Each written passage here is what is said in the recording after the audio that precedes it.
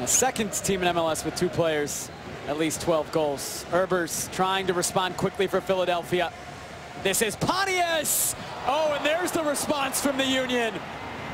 No goals in the first half, two in the first, two in the second. We're back level.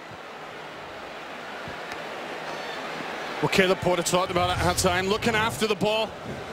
And for the Timbers, they don't win that first, that second, and then all of a sudden Herbers, he comes in behind, and a few times the Union in the first half got in behind Jewsbury and Chara. And there, just when the Timbers thought that they'd done enough to get the other side of Herbers, Pontius steps right up and takes on his 11th goal of the season. What a hit that is. Steps onto it, left foot,